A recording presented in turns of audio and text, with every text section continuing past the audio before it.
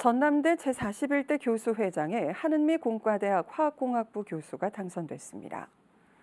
전남대는 한 교수가 같은 학과 교수 2명과 경쟁한 결과 10일 온라인 선거에서 최다 득표로 당선됐으며 임기는 오는 9월 1일부터 2년이라고 전했습니다.